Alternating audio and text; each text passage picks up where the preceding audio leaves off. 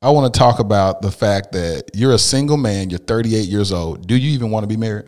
I do, and I I, I do because I, I want to build a legacy. I, I want to build something with my wife, and I'll tell you, I go back and forth because my my, my last relationship, you know, it did a number on me. I'm and that's what I want to talk about. It did a number on me. I'm on a journey to discover, uncover, and recover love. Now, as a national playwright, I've penned dozens of shows about relationships. As a filmmaker, I've documented the most beautiful committal of lovers at weddings. And as a divorcee, I know firsthand the brevity of marriage and the pain of its loss. I'm Lateris R. Whitfield, and welcome to the Dear Future Wifey podcast. Welcome to the Dear Future Wifey podcast. I'm your host, Lateris R. Whitfield. Listen, I'm so excited to have this conversation with today's guest. I love it when I get a chance to sit down and just break bread and talk to my brothers. Now, this guy, he's a family therapist, he's an author, and he's a speaker. Welcome to the Dear Future Wifey podcast, my new homie, Jay Barnett. Man, what's up, brother? Thank you for having me, man. Jay, man, when I tell you I am so excited to just just have a conversation with you. Yeah. Like like when we talked during our pre-interview, we I mean we we chopped it up for about an hour. And what I love so much about you is that you keep it lit. And so uh, here on the Dear Future Wifey podcast, we coined the acronym LIT to stand for Living Intentionally and Transparently. And you're a brother that does exactly that. So my question to you, are we gonna keep it lit today? Yeah, we're gonna keep it all the way lit, man. All right, now see, I, like what, what, when you sit down at this table, now we, we we talk about some stuff. So, are you gonna be transparent? Are you gonna open up and share some of your experiences? now, I want you yeah. to I want you to uh, be a therapist today. I want you to be a brother that's gonna keep it real and just talk. I'm gonna be a brother. I need that. All right, well, cool. then that's what it is. So, um, oftentimes when men go through pain and get and go through heartbreak, we don't go seek therapy. We don't go get hurt. We don't get help. And oftentimes we self medicate on drugs or alcohol or vagina. Uh, and we just go around smashing chicks thinking we're going to find our healing uh, between the legs of the next woman. Um, tell me from a, a brother standpoint, with the therapeutic background, of course, because you can't shake that. Why do we do that? That's a great question, man. You you starting out the gate. I got to. we got to. Gate. I think the reason being, man, is is when you look at men all together, and especially just us as brothers, right? What does healing really looks like? Yeah.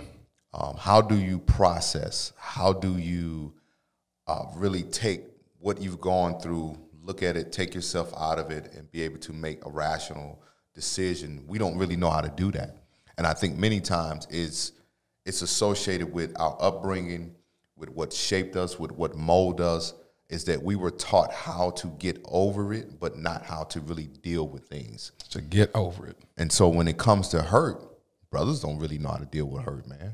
Where did that start from? I think it started from our childhood. I think it started from our upbringing. And for an example, let's let's let's talk about just being athletes, right? Right. How most coaches are teaching you to ignore pain. Oh yeah you know how pain yeah. is temporary how pain is not good for the body and so you learn how to ignore your pain and and I truly believe that men are just as emotional as, as women, yeah. but we just don't give attention to our emotions because we've been led to believe that if I focus and give attention to my emotions, does this make me less of a man? And make us appear to be weak. And appear to be weak. Absolutely it's the craziest thing. And I, you know, raising these young boys, um, I tell them to tap into their emotions because even with the son that I adopted, him being, you know, him having gone through a lot of traumatic experiences, you know, I can notice when he's is, is building up inside, and then when he explodes, he explodes.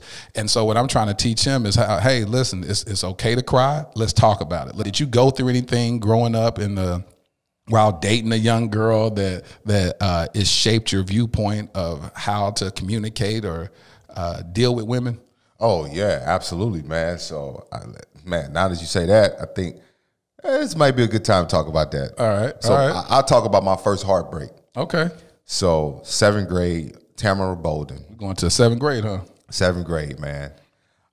And um, so, man, Tamara was this cute chocolate girl I had been, you know, after her, you know, for like a few years, and in the seventh grade, you know, I, and I, I probably I was a late bloomer, so I, and I and my my dad was a pastor, so we were very, we were, um, I want to say we were very sort of guarded in a sense to where we were a bit green. Yeah, yeah. You know, other kids were a lot more advanced in things Yeah. to where like we couldn't watch BET yeah, after eight o'clock. You know, so it- we we wasn't watching cable all day. Like we was reading our Bible. Yeah. You know, so we you know we were sheltered a lot, man. And so she kind of saw me as to being this good guy.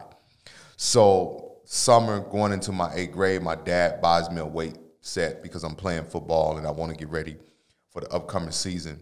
And he's like, you know, I want you to get in shape and start lifting weights. I think it's time you start lifting weights. So I started lifting weights, started getting in shape, and really started developing uh, self confidence in the aspect of how I was growing and developing because I think we all go through that awkward stage. yeah, yeah. growing, right? Definitely.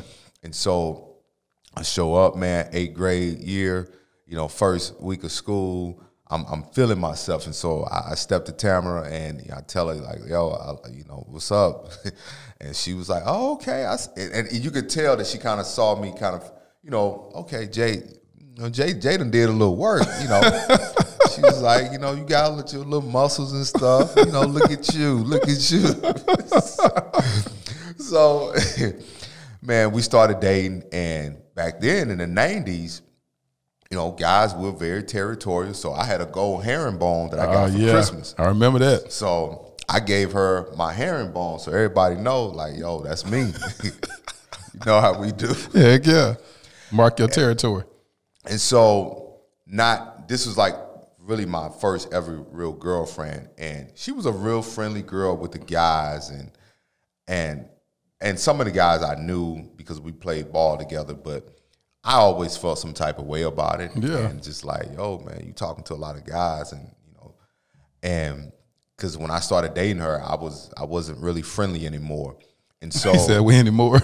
yeah, I wasn't friendly, man. You know, because I've always been a very, very social person. So I was just like, man, you know, you, you talking to a lot of these dudes, and uh, you know, who is it? Why you guys talking that long and those things? And so I guess it started to annoy her. And long story short, she ended up breaking up with me. So, but but she didn't do it. She had a friend do it. oh man. So she had a friend named Sharia Robinson. You know first and last names, boy. He called them out. Man, I, I would never, never shall I ever forget this. So Sharia Robinson, she she's a heavy set girl. So Yeah. she but she was known for throwing hands with dudes. so she come to the door, the bell, the bell is rung, and so I'm like, okay. Um I wanted to talk to Tam. So she was standing in the door and she was like, she don't want to talk to you. Oh, she was blocking her. Yeah, she was blocking the door, and I was just like, "Yo, Tam, like, you know, come outside, come out in the hallway." She was like, "She don't want to talk to you."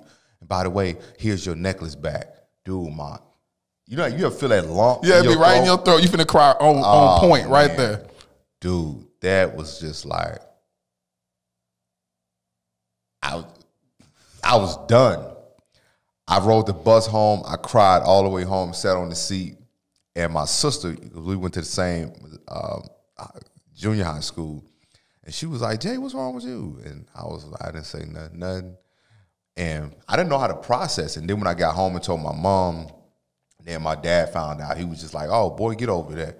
You know, you you. I mean, you in junior high, you you don't know you don't know what love is, and so You don't and- know what love is. so saying all I to say and to step back in a clinical uh, perspective and, and to help parents in this space, what parents should do a better job of is not only giving your child to, the space to express what they feel, Yep.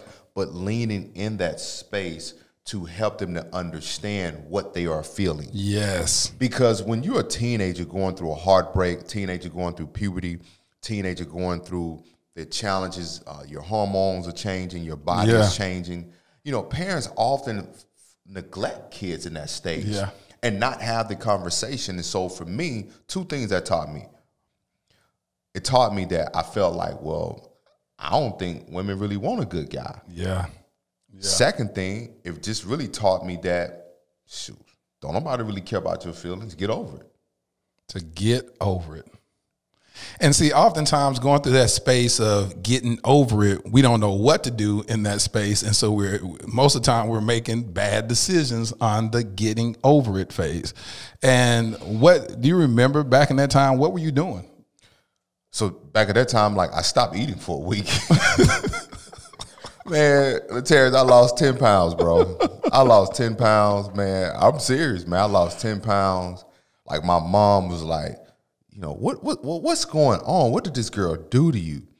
And it wasn't so much what the, what what what she did to me. It's what it taught me. And that's it, good. It, and then what it taught me because I wasn't trying to be overbearing when I was asking her these questions about these guys. I was just trying to get an understanding. Understanding. There it is. There it is. That's good. Keep talking.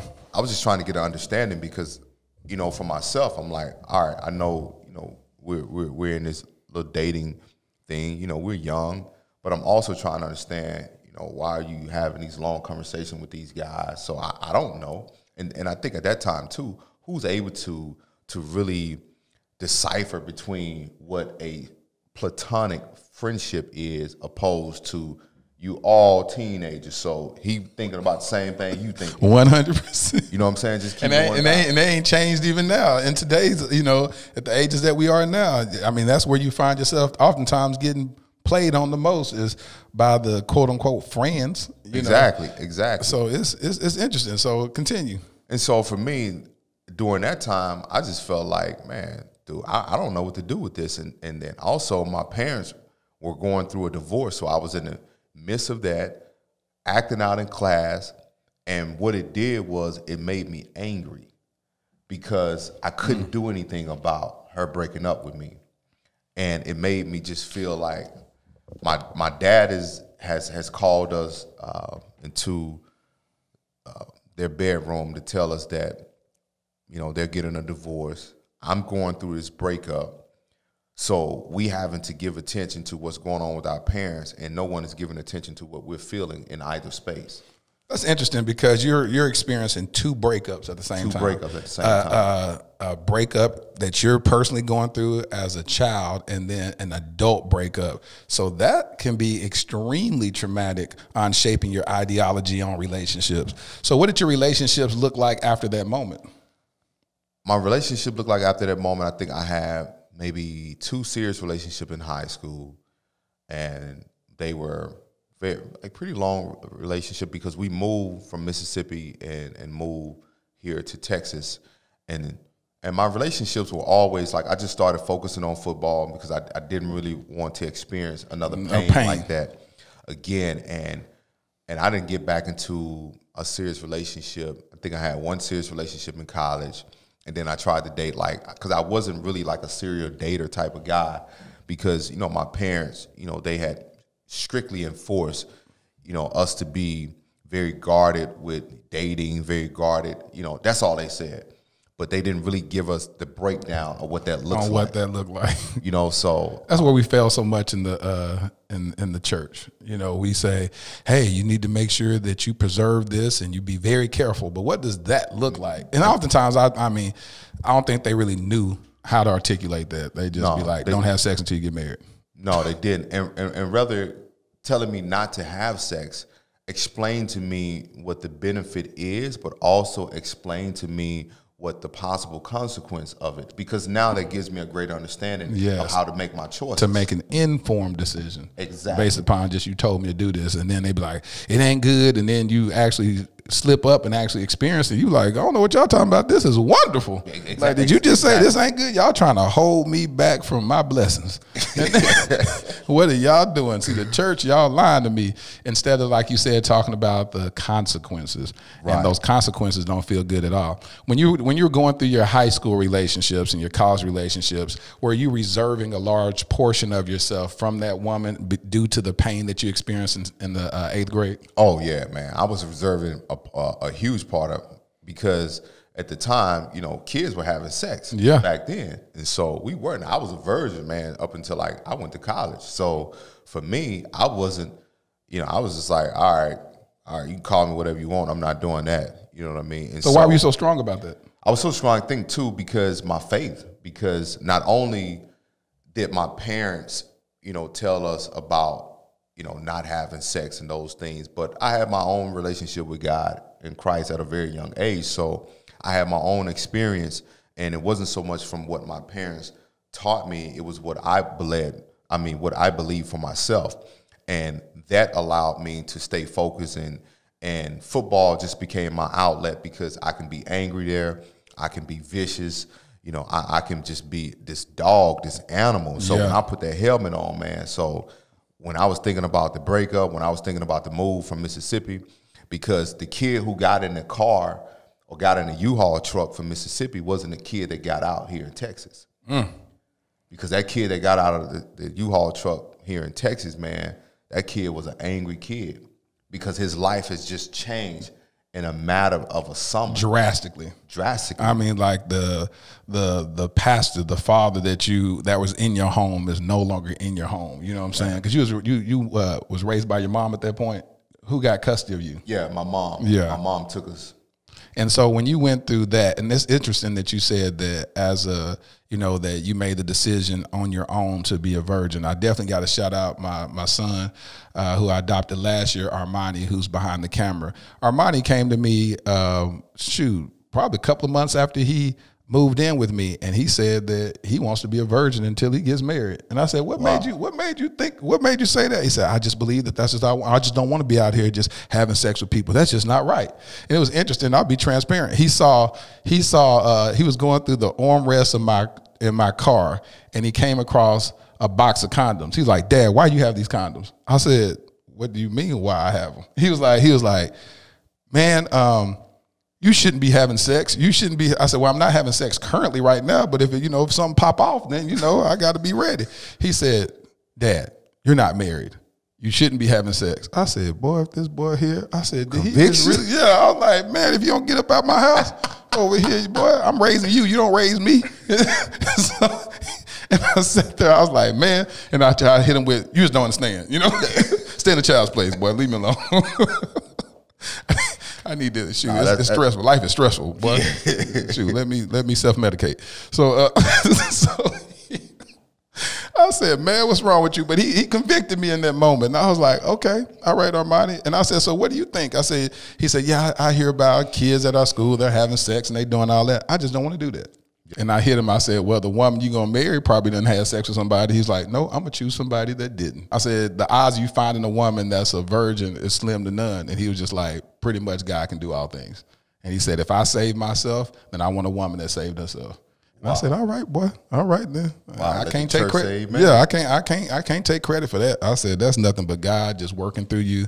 And uh, so I just want to encourage you, Armani, to continue down that path and uh, preserve that. That'll Yeah, be so likewise, so dope. man. Yeah, because I and, and I'll be honest, like my senior year is is is when I, I was pressured into it, bro. yeah, And and I'll be honest, even men who deal with sexual trauma and people don't believe this, most men's sexual experience has been from a woman forcing or that door was opened by yeah, a, a- woman Yeah, of yep, some sort. yep. I mean, you know, whether it was the babysitter or whether it Yeah. was and, and and and I know we're not really talking about this, but this is why a lot of men deal with sexual trauma silently because who is going to believe them? yeah, yep, And then too, how will they be viewed? Because even for for my experience, I just remember feeling pressure like everybody else was doing it, and I'm just kind of like, I'm not really on what everybody else is doing. Yeah.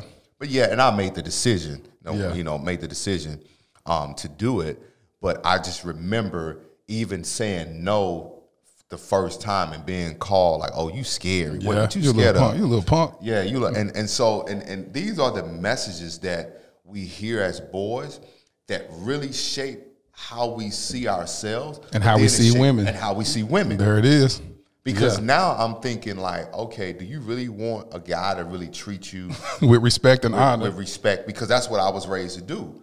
So I I, I remember, you know, man, just we just keep We'll it all, keep it real. We'll we keep, keep it all one thousand, man. I remember this girl. I'd never forget this in high school. Went over to the house and.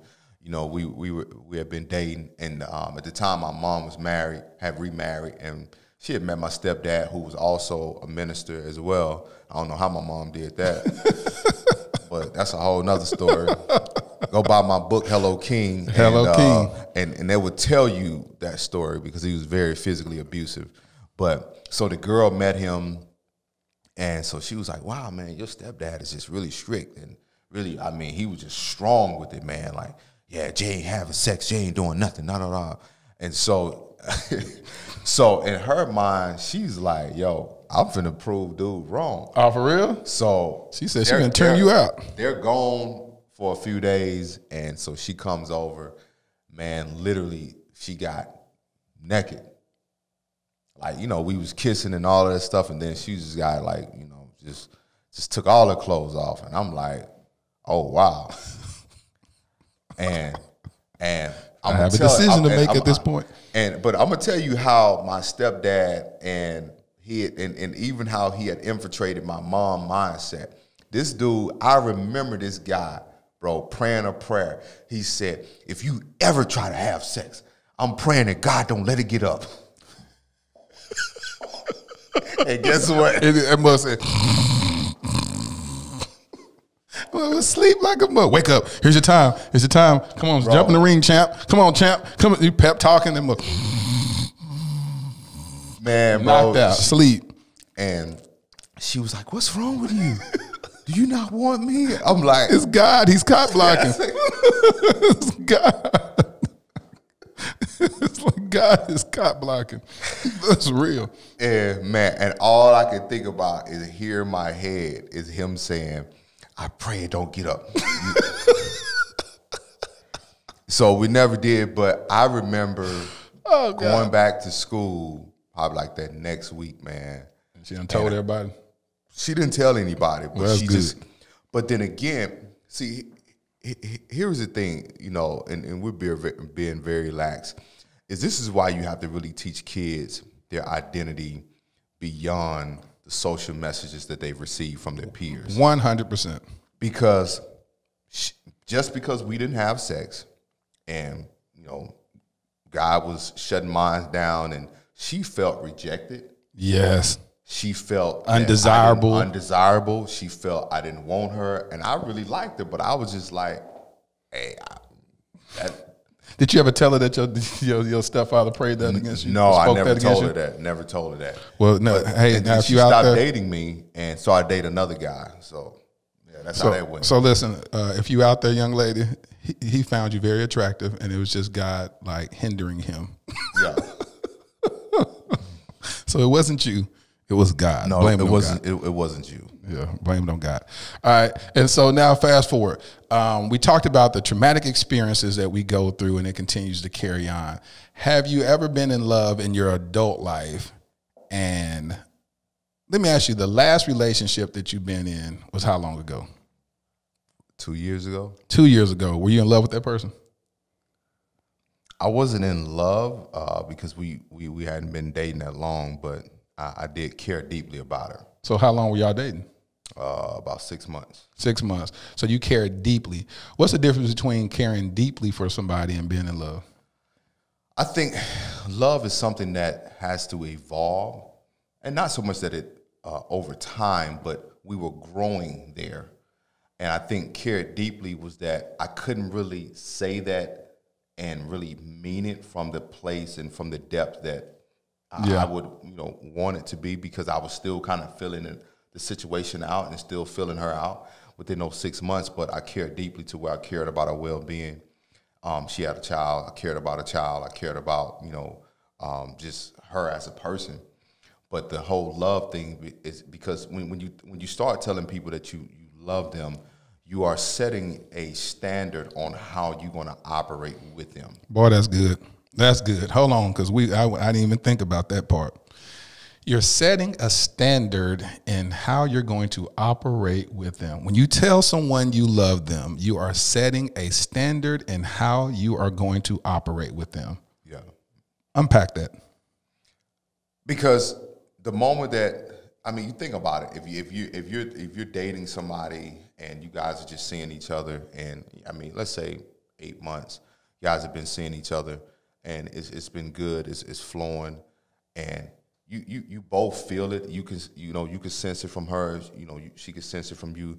but it's still almost like there's there's almost there's a it's not a real solid foundation, Foundation, yeah, to build something off of. to really build something off of.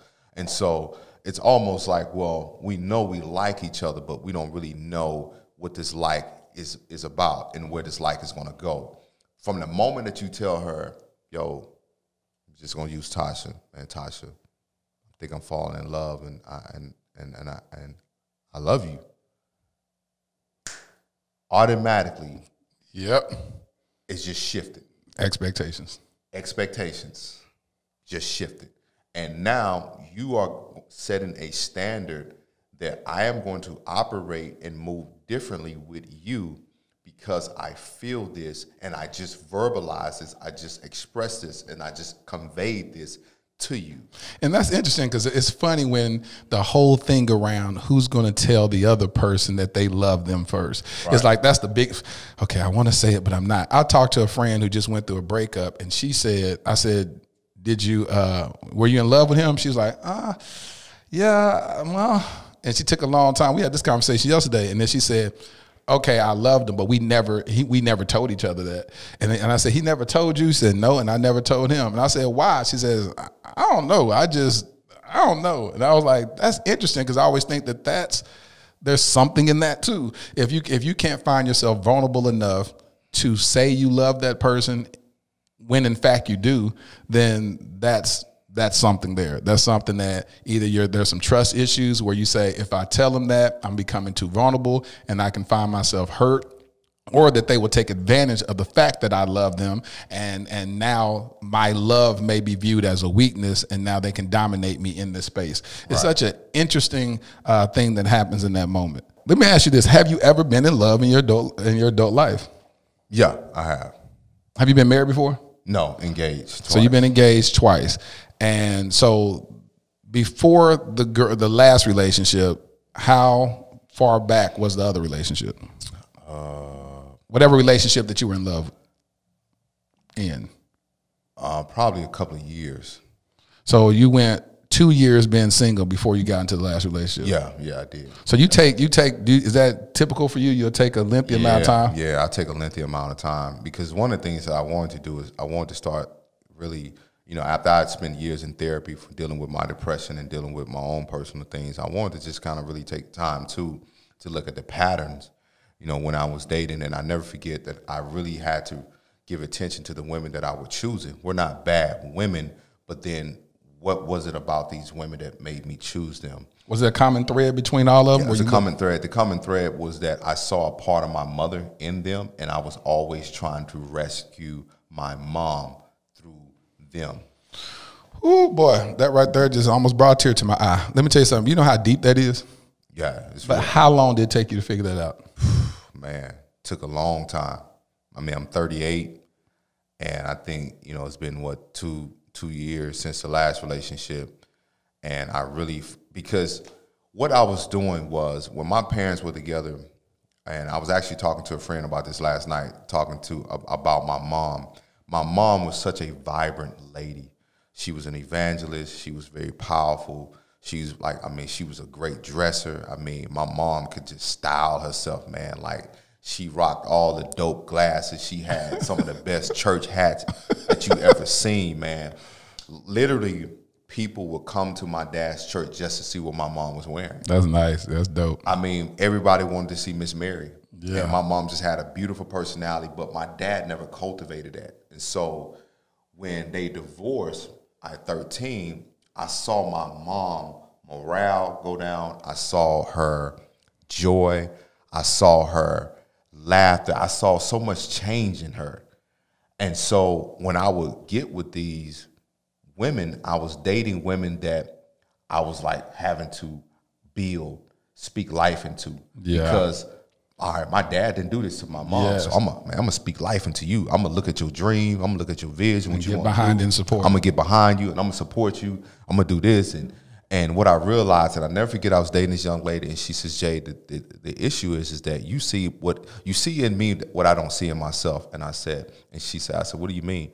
She's like, "You're trying to recreate something, Jay." She said that to you? She said, You're trying to recreate something, with me that you didn't have. And I was like, whoa, And how old were you when this conversation happened? what, 30 something? So that woman saw that Yeah, she saw it that you were trying to recreate something in that. I didn't have. And I was like, yeah, you're right.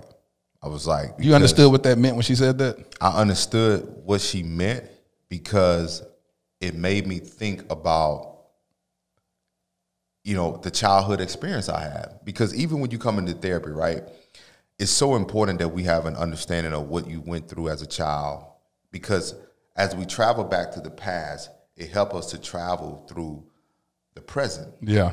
so you need that. And for me, I wanted to be what my father wasn't. I wanted to be faithful. I wanted to be committed. And then I wanted to build, you know, whoever I was with. And so I just thought, you know, well, this is what I was supposed to do. And and even the times that I got engaged, I was very ill informed. Um, I didn't really know what I was doing because I didn't really have the guidance. But I just thought, you know, it's, it's, we've been dating a good amount of time. you might as well give it. Next step is marriage. yeah, next step is marriage. And so, uh, and, and that's why I think it's important, man, for people to have counselors, therapists, Yeah.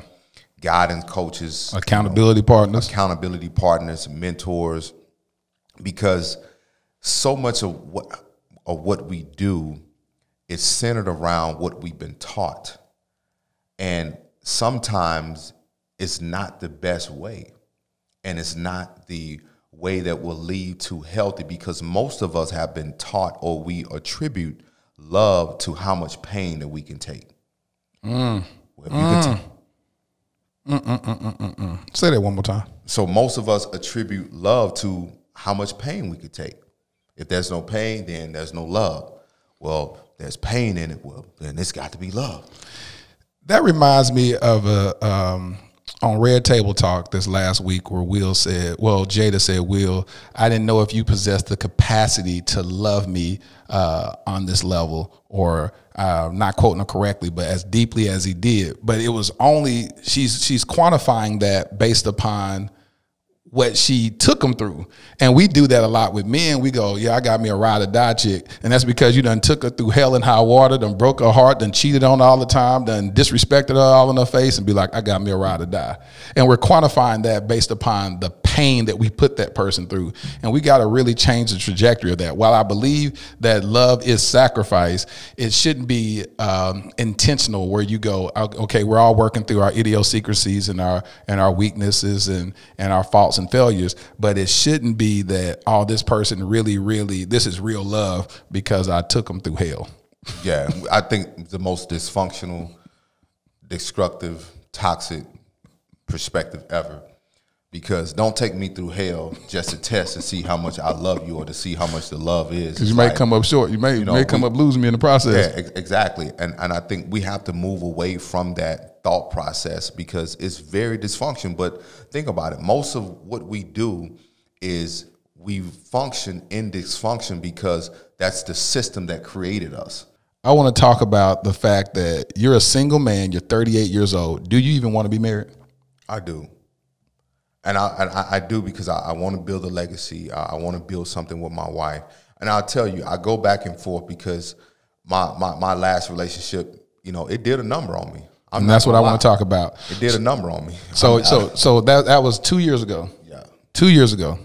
So that was back in 2018 or 2019. 2018. So started 20 da- started dating in 2017. Uh, broke up at the top of 2018. Okay, but it was a six month relationship. Yeah. Okay, so it was six months and it caused a lot of damage. And this is what men don't talk about. Why? What happened?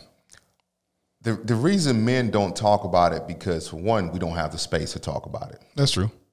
Secondly, what does that look like to even talk about it? Am I gonna look like a punk? Am I Yeah. gonna look like a whole nigga? I'm Yeah. just keeping it 100. Yeah. Am I gonna look like, you know what I'm saying? Like, oh, oh, oh you hurting. Oh, you, you know what I'm saying? You let this, because you, we've been there. Yep. Right? Yep. And so, um, and that's why we don't, because it's the fear of being judged, mocked, or ridiculed for how I feel about what I was put through. Because we often see the woman share her side of the story Yes. And we feel like, oh, he'll be all right. It didn't bother him, but it does. And that's a, it- it's interesting. We're gonna talk about what you I want to interject this because I saw a lot of posts about August Alsina saying, "What dude get all this good pee from Jada and then come out and talk about it and talk about how he hurt?" You know what I'm saying? And they victimized him for being. Uh, first of all, they they're not taking into account that. I'm gonna do a whole little video about this, but they didn't take into account that he was young. He was literally in his early 20s dealing with a woman close to her, her, her close to 50, and dealing with a drug addiction, so he's already broken. You can see the noticeable pain and confusion in this young man's life. Yeah, you can. But he dare not speak about it because now when he speaks about it, he's like, "That's he a punk, girl. You need you should get your behind, you should get your vagina to somebody else and, shut and, them and- out." and for the women, this is why men just sit with their stuff. yep, Because this is what happened. yep, And I'll be honest with you, he was a victim of grief. yes, That's what he was a victim of. He was dealing with so much grief, so much pain, and then that space was not only taken advantage of, but that space was manipulated. yes, yes. But don't s- talk about don't talk But, about but, but, but yeah, but yeah, don't talk about don't it. talk about that part. You know what I'm saying? And so, you know, for me, um, you know, the breakup happened and there's a conversation about, okay, how do we move forward? Because we work together. And I'm thinking, all right, you know, we're gonna have a conversation like adults. We'll be able to walk away from this amic- uh, amicably. And so I'm just kind of like, all right, how, you know, I'm thinking things are good. So uh, probably what was this? because this was at the top of 2018. We had like a face to face conversation about how do we bring this back together um, in a in a therapeutic uh, a therapeutic setting with a therapist.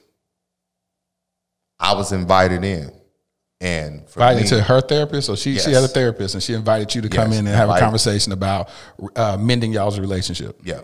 Okay. Exactly. And so um, I, I didn't want to do it. I, I wasn't because I still had the little pain because there was some words said that I just kind of like I just couldn't get with, man. And I think too, you know, even Hold on, I want I, I want to touch on that. What words? We talk a lot about words, and they hurt a whole lot deeper. So that so there was a point where um, she was going through some challenges, and in these challenges, I was there as any, I hopefully any dude was, and I'm talking about like really there, like standing there, staying the night, making sure she good, all those things. And then one day I heard, or it was said to me, I fell out of love with you. she said that she said that to somebody about you. No, she said that to me. So she said, you know, I fell out of love with you, and I'm just kind of like, okay. And it was confusing to me. Yep, that seventh Because grade again, boy. That seventh grade boy is hearing Going this. back to seventh grade, Yes. it was confusing to me because I'm like, yo, I'm here for we- you. I'm rocking just- for you. We just we just came through like a tumultuous, Yeah, you know what I'm saying, time, and I, you know, I was here. yeah, you know, I'm here, you know, driving you to where you need to go. I'm here making sure you you good. Like, how can we, you know, how can I, you know, make this better? And so when I heard that, I immediately I checked out. And so we had another conversation, probably like maybe some some weeks later, and she, you know, she said, "Well, I didn't really mean that. I was just saying that to be hurtful." And for me, when I heard that, man, again, I went back to the seventh grade kid because I'm like, all right, what do women really want? yeah, Because I'm not perfect by any mean, but I do know like my heart is gold, and you know I got sisters, so anything that I can do to help the person that I'm with, I'm going to make sure that I, I go the, go go those lengths to do that. So fast forward, that's what just really just pushed me in. And to me, because I feel like, and this is where women have to really be cautious with your words, because you can't. Because see, there's an honor code that we operate as men. as men. See, the once you say I'm your homeboy, you my homeboy, Yeah. we know, all right, there's a level of mutual respect. There it is. That we're gonna always keep it 100, and we're gonna keep it above the table. Yep. Because we know if we go beneath this table, Then- then we gonna be there's coming back. Yeah, yeah. You know what I'm saying? And so,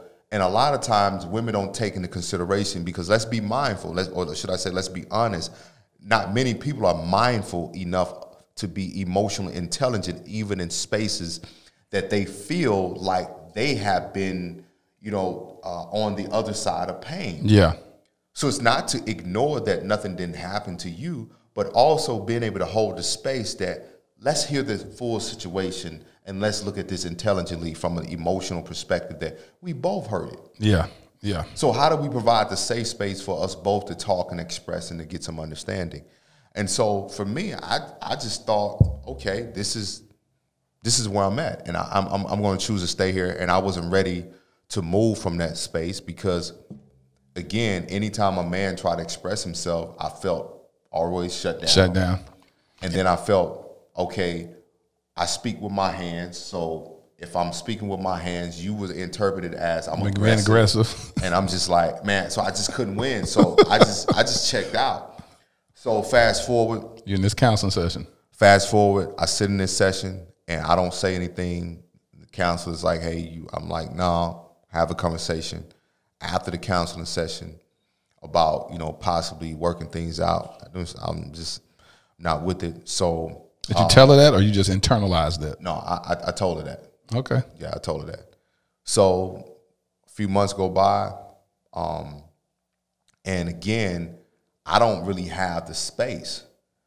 And then to really talk and share, you know, I confide in some people that I'm yeah. thinking is safe, and then apparently I found out that it's not safe. Yeah. And, and, that's one thing I'm I'm so big on now, bro. It's, it's not violating spaces, safe spaces. It's not violating safe spaces, man. It's like I'm so I'm I'm always transparent. I'm gonna always be that that's who I am. Yeah. But I have learned to be selective where I'm vulnerable at. Yes. And what women don't understand is like that's not a space that a man is gonna give you freely. so like you, you're not gonna get that quick. You're not gonna slide in the DMs and give me a hey king and this and that, and I support you, I believe you, and just think I'm just gonna be vulnerable with you. Like it doesn't work like that. And I've had women who do that, and I'm just kind of like, well, I just feel like you're so guarded. Yeah, I'm guarded because I want to use wisdom on who because, I who I expose myself to. Exactly because I don't know, and this is the fear, ladies, with men. We don't know what you're gonna do with our vulnerability. Yes, because we don't want to be emotionally blackmailed. Yep. With what we share. Yes because that's the ammo that you always have. Yes.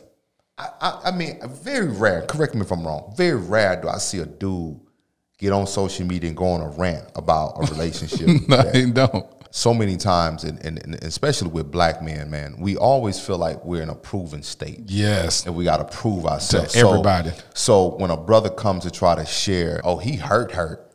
you know what I'm saying? That but, is what they But say and, and they hurt, said hurt. in the in the space where so bro, it's almost like an oxymoron. You get in a relationship with a man and you say, open up to me, tell me what's wrong, tell me what's but outside of the relationship, you talk about men who open up and say things about that they experience. Oh, he hurt her. Oh, girl, I guess she must have. Again, it, it's like men, we get treated as if we're not humans. Yes as yeah. if we don't have these feelings. And I run this this this this men's group over in uh, Oak Cliff Chamber of Commerce. Do you know most of the men have said that when they have tried to be open about their feelings, you shut down. It's been shut down. Shut down. Shut down. I did this men's. I was in this uh, when I was a member of Covenant Church uh, they started this program that's still around today called um, it's called Camp Freedom, and I was I was selected to be one of the first men to go on this retreat, and it was about twelve of us there, and we just shared. It was a powerful, powerful experience. But here we are, these 12 men from from different backgrounds, black, white, Hispanic, and we literally spent three days away from your cell phone. You couldn't bring your cell phone on the trip, and we just was in the in the woods, and we just broke bread and talked and shared stuff. And I was like, wow, men, we really don't share stuff. Men were crying, we were heartbroken, we land before the Lord, worshiping God, and I was like, this is the most beautiful atmosphere I've ever experienced because it was a vulnerability that took place in that place that it was like men could actually exhale. You saw a movie called Waiting to Exhale about women uh, exhaling once they found love, but men were able to truly exhale and say, I'm tired. That's why I believe men die uh, sooner than women from heart attack and all that type of stuff. we, don't, we, we don't get those moments. No, we don't get those moments. And that's why it was so important for me to become a, a, a therapist as a black man and, and to create these safe spaces uh, to be able to help men because That's good, God. God, God took me through my own process and, and still taking me through a process. So hold on, when did you become a therapist? So this is my going into my second year. Okay. So so that came after this this past breakup. Yep. And I was still in grad school, going through the internship process and all those different type of things, man, that trying to manage school, manage processing, manage my therapeutic lens, because I knew what was going on in the situation, but what was what was hard for me is that in May, she, you know, came out and released some videos and, and, and said these things. And again, they were things that I shared. Again, your truth is your truth. Yeah. I didn't agree with it because I, I was there and I'm like none of those when I was told because I never did go watch it or whatever. But I'm but for me, Truly, these videos talking about you or videos of you. yeah, no, no, these videos like you know he did this, he did that, and when by the time, bro, I'm, I'm gonna just be honest with you, man. It was the most difficult time in my adult life because a few months ago we just had a conversation. about her trying to get back with you. you know and exactly and so now all of a sudden i'm this type of person and things that i shared in private i'm to my pillow talk stuff Yeah. well you know he said this and he said that and you know he told me this this is why he and i'm just kind of like man and i think the hardest thing was that when i saw it because my phone is blowing up i'm in the gym and people are like yo dude have you seen social media i'm like no i haven't She put it on social media. it's like, dude, you need to go see it. So I saw it, and immediately the spirit spoke to me and said, "Don't respond." And I'm like, all right. People were in my inbox all day, bro. Like, bro, this girl finna drag you, dude. I'm talking about people that I spoke for their programs you know, was sharing it and this and that. And I'm just like, man, none of this. I'm like, dude, like I just I couldn't I couldn't even respond even to myself. And I remember going home and just getting into bed, man, and just like, God, what is going on? And I mean, and it's just like he wouldn't stop the bleeding. And he was taking me not only through a process, but I felt like, all right, this is a stage that you're taking me through. But the hardest thing was just not being able to state my truth and to really talk about how I felt in this. I went through a similar experience last year, and in January, God gave me the quote. That's why if you walk in my office, you'll see it on the wall on a big old mural. He said, "Let your character outlive their lie." Yeah. And I said, "What does that even mean?" He said, "You are who you are."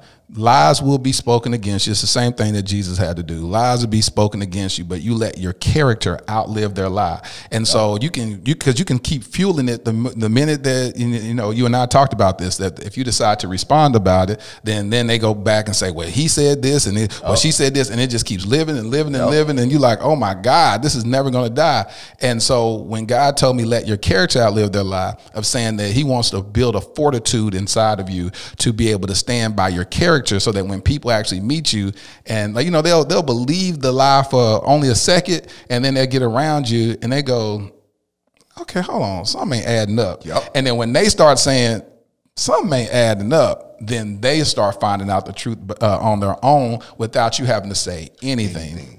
And but it's it's painful because that process takes a whole lot longer than me saying, hold on, no, hold on, no, you, you ain't gonna be lying on me. You know what I'm saying? And so that process is longer, but that process is so worth it because now you truly, the Bible says, vengeance belongs to the Lord. And so, and God says, vengeance is mine, saith the Lord. So either we're going to fight our battles or we're going to say, here, God, I'm to let you to fight. I'm to let you fight it. And then when God fights it, you'll come out just like, I mean, you won't have a scar, a scratch. You will come out the fire not smelling like smoke and you'll build, you'll build a, a, a different type of character where you're able to weather any storm. Man, that dude, you just preach, and that's and that's exactly how it was for me. I remember God telling me, said, "Don't take this personal." Mm, mm, mm. He said, "This is not what I'm trying to do to you, but there's something that I want to do through, Through you. and and I'm just like, I mean, and I was having a conversation. I said, God, this don't feel good. Like this this woman just went on a tangent, man. Assassinated my character. assassinated my character, and I'm like, you don't want me to say nothing? he said, don't say nothing. Probably a couple months later, I'm here in Dallas at the Potter's house, and Bishop Jakes is preaching, and literally Bishop Jakes stopped doing his message and just started speaking into my life, man. Not Personally, not just, not just speaking. He personally, personally spoke to me. Came me off the stage. Yeah, and just personally just started pouring, started speaking, and I and God says, "I told you, I got this. Mm, mm, let, mm. let me do this." And even to this day, man, people don't know that I was going places to speak. They would tell me that, "Hey, we receive these phone calls, we receive these emails from this person." And they would tell me the name, and I was just like drop my head, and I'm just like, man, are you serious? And uh, the messages that I was receiving in my DMs, I mean, from people that you know were, were I, they had to be connected to her account because the stuff that they were saying in my DM, man, I got accused, man, from everything to abuse to being gay to being, I mean, just, oh, bro, it was the So stuff. she was, reach, she was she was reaching out to um, yeah, when I went to go speak, different clients, different Yeah. clients and, and, and engagements you had, and just sharing stuff with with with your potential clients. No, ain't potential clients. People that have booked you to come and speak and do stuff. Yep. Would, would would share and I mean the stuff that people like I mean messages people would send me hey we received this and I remember one day man and I actually I was sitting on an airplane when I got a call from uh, one client it was actually a church and they said hey we just received a call from her and um, crazy, message on and um, and I just dropped my head and I just said God like I really don't know what to do in this space man and what was so painful about it is that having to go through it and just take it. Yes. That's the hard part, Boy. you know, because it's like God had already told me not to respond, so I didn't put anything on social media. Um, I talked with my attorney, and my attorney said he gave me the best advice. He said, "Whatever you do, just go hard, just stay focused. Every time you get the mic, every time you get up and speak, he said, don't pay attention to what they're saying. Mm, mm, mm. Just keep continue to pour, continue to pour. Stay focused on school. We got grad. I mean, he was just, and, and, and my attorney was a good friend of mine and a mentor. He said, "Listen, man, you'll be, you graduate in another year, year and a half." He's like, "You're going to be a therapist. You're going to change lives." He said, "This will all be behind you," but he's like, "I need you to stay focused on what's ahead of you and not what's behind you." And in therapy, uh, the therapist said, "Man." you know, I told him, I said, man, I don't know if I could date, man. And he told me, he says, Jay, you have PTSD. Yeah. He said, you, because bro, I'm talking about like people, the stuff that people were saying in my DMs, man. And I'm just like, I had people hitting me up like, man, I hear you out here putting your hands on women. I'm like, what? I said, are you serious? And you would just Bro, ignore those. You would just- just ignore those. bro, I would just ignore it. People saying stuff like, "Oh, bro, I heard, you know what I'm saying? You gay, man. I heard you out here." I'm like, How can you prove you not gay? Like, like, like, just think about trying to prove that. and How- but, how- but see, it's a trick. It's a trick bag because Yeah. the trick bag is the enemy is going to put you in a space or force you in a space to where like, well, now I got to smash all these chicks. Every last one I'm of them. not. Exactly. Every last one of them. If- and I want I them to publicly tell everybody. I want. I just want to just do stuff all inappropriate. I want a sex tape out there. I just want to just def- Exactly. just, just assassinate my whole character by myself. Exactly. And you know, Self-destruct. and God, God was so near, man. Uh, is doing that during that time because he said, "Son, I got you in this space." And and I remember one day, um, I just finished speaking, and I was in a hotel, and uh, they the driver that was driving me around, and dropped me off, and they looked me in my eyes, and they said, "Hey, man, you gonna you gonna have to go up in the spirit to combat this." Because man, I'm talking about every week. What the driver knew? yeah. Every, Dang. because I just finished speaking at a uh, at a at a big church um, in Toronto, actually in Canada, and uh, the driver um, she said She said, Jay, you're gonna have to go in the spirit, man. I went into my hotel room, bro, fell on my knees, and I cried so bad, man, out to God. And I just let my tears flow. I just let my tongues flow. I just, I said, God, man, I can't. Like, you're gonna have to be with me through this.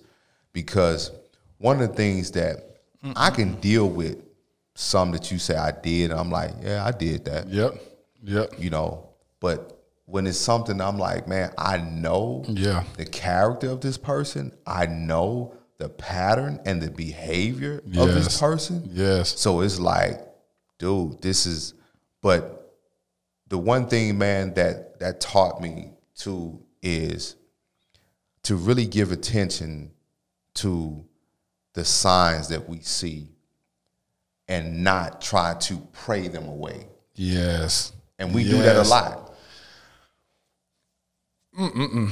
We do that a lot. E- even as men, we'll see things, and you know, um, people call them red flags. You call them whatever you want, but there are times where things show themselves in the behavior. And see, I was trying not to be a therapist in this perspective because Yeah. I saw it.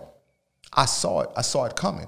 I remember sitting on the floor and God said, I'm getting ready to shake this thing up. And I had no idea what he was talking about because I felt like uh, a friend of mine who was my manager at the time was managing me.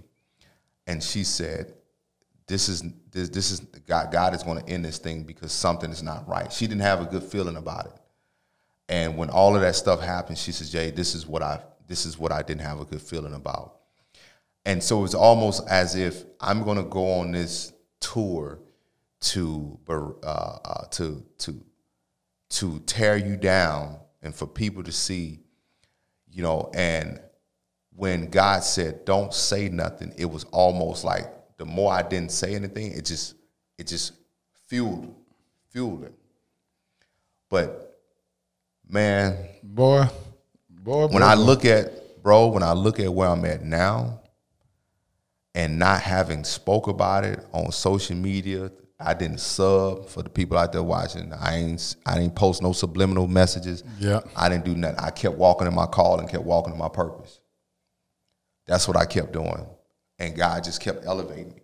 Was it hard? It was, man, bro. It was hard because it was about two years. That went on for two years. About two years, yeah. God, dog. And nobody and here's the thing, bro. Nobody never knew I was going through this silently. Unless you, you know, unless you were on her page and you followed her. But my my boys knew and they would often say, bro, I I've never seen a strength like that dude. Cause they would often say, Jay, you gotta say something. My family, Jay, you gotta say something. And I would say, man, God told me I can't say nothing, man. I gotta, he said, don't say nothing. But saying all that to say is that men need safe spaces to say what they feel. Yes. Because if we don't say what we feel, it's going to be internalized, and that is depression turned outside. And it leads to suicide, it leads to self destructive behavior, it leads to substance abuse, uh, sexual uh, promiscuity. Um, I mean, promiscuous. Um, it, it, it leads to so many different things, man, because we want to be heard, and and what and that's what I'm realizing even with this men's group, man. Brothers will talk. They will when They you just give them gotta space. trust you. They gotta trust you, and they and they will they will open up, especially when they're talking to other brothers. Uh, they'll be like, "Man, let me tell you something, man. This chick did such such such such." It was a guy that was uh, last week. The technician from um, my internet provider, he was coming in to boost up the speeds to my internet, and he was he was like like uh, popping his neck or whatever, and he's like, "Man, I'm tired." He's a Hispanic dude. He said, "I've been working seven days straight." And uh, I was like, dang, I said, but that check looked good, huh? He's like, yeah, it looked real good. He said, but I'm tired. He said, and uh, he said, I got, you know, I'm paying child support and all that. And I said, oh, I said, how many kids you got? He said, I got two kids. And I said, they by the same woman? He's like, yeah, my ex-wife. And I said, oh, really? And I said, yeah, I've been through a divorce too. He said, yeah, my my wife uh, left me with uh, left me for my best friend. And then I was like, wow. I said, oh, so are y'all are y'all still cool? He's like, man, that mother effer won't even look me in the eye. He was like, he was like, uh, I was like, man, how'd that feel? He said, man, that hurt. He said, he said that was real effed up. And I was like, wow, this is interesting that that God allowed that conversation to happen with me because that's that's that's embarrassing. You know, that's a painful thing to say that your your wife left you for your best friend. You know what I'm saying? And just for him to say that, and I was like, man, thank you for sharing that. You know what I'm saying? Because I take it as an honor, Honor. when God allows someone to share something with me uh, on that level because you know this man is working his butt off. Think about how that feels to be paying child support when your wife because I was thinking about that when he left I was like man this is messed up. Like your kid your wife has custody of the kids and you over here slaving for child support and she left you to be with your friend. You know what I'm saying? And it's like how did they not work that out in court where he got custody of the kids? Uh, but it's interesting that men go through this pain Michael Baisden wrote a book one day called Men Cry in the Dark. And um, I think that that is exactly what happens. We will cry in the dark. are you know I she- do. are you shell shocked from that past relationship? Are you uh, are you in the place now where you're um, like your counselor said that you have PTSD? Do you still believe you have PTSD? I, I, I think I'm past it. Am I a bit um, guarded? Absolutely. Of course. At, at this point, because for me, it was like, man, I'm building this, and you know, I got these books, I got these programs, I have my platform, and I feel like, you know, for me, dude, I almost lost all of this Yeah. over a lie. So, are you dating anybody right now? No, So you're not dating anybody? Are you open to dating? I'm open to dating now.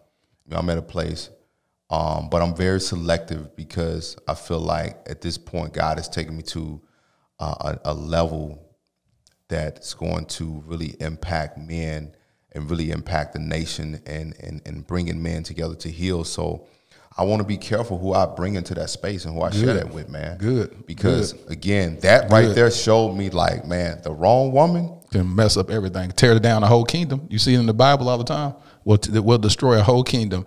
Um, so, what does dating look like here on the Dear Future Wifey podcast? I really love to talk about what does dating after going through um, your healing. How do you transition to that? Is it something that you're interested in to be doing intentionally, where you say, "Yeah, once I start opening my mind up to date. I'm dating, looking for a wife, or are you the type to say, ah, yeah, we'll go break bread, go out to eat, go to movies, do whatever as soon as COVID changes, but we'll go out to movies or whatnot.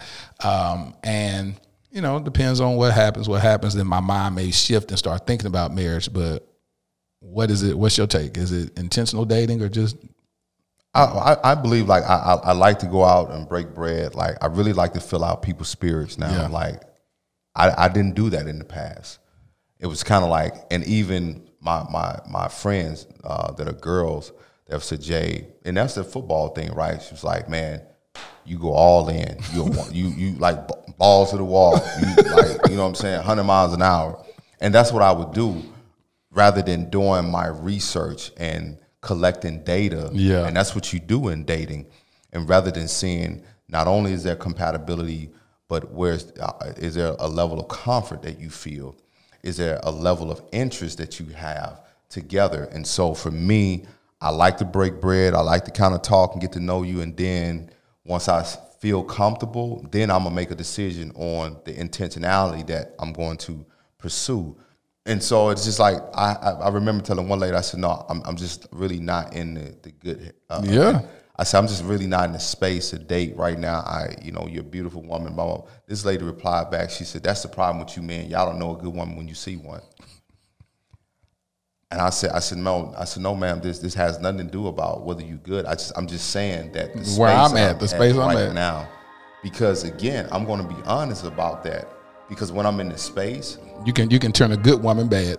exactly. And I say that a lot. It's like you don't you don't want me while I'm in in the in, in intensive care right now. If God is doing surgery on me, there's some blood you're gonna see. There's gonna be some stuff you just don't want to see right now. Let me get patched up. Let me get healed, so that when I walk into the next relationship, it's a, you getting the whole me.